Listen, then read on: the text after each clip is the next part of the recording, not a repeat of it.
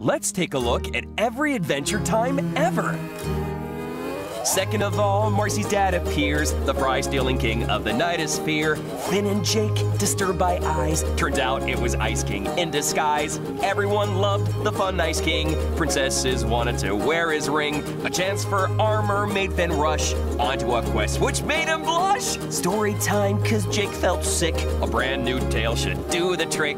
Snorlock was a lovesick snail. With Finn and Jake, he couldn't fail. Jake saved Finn from evil gnomes. Not before he danced at home.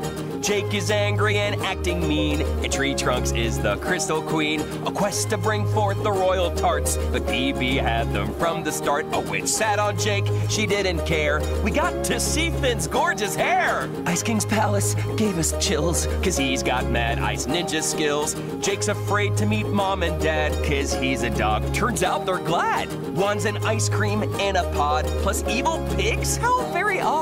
Overthrew the Goblin King, but silent ruling, they'll do no thing.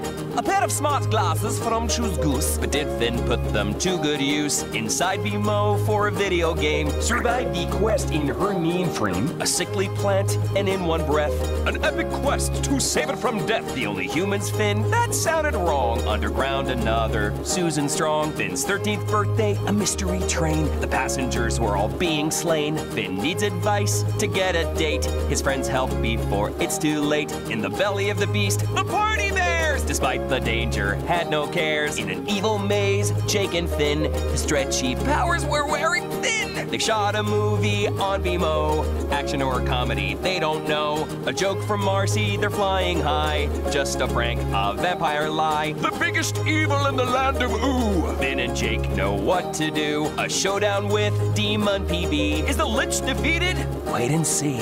And that was the second part of Adventure Time.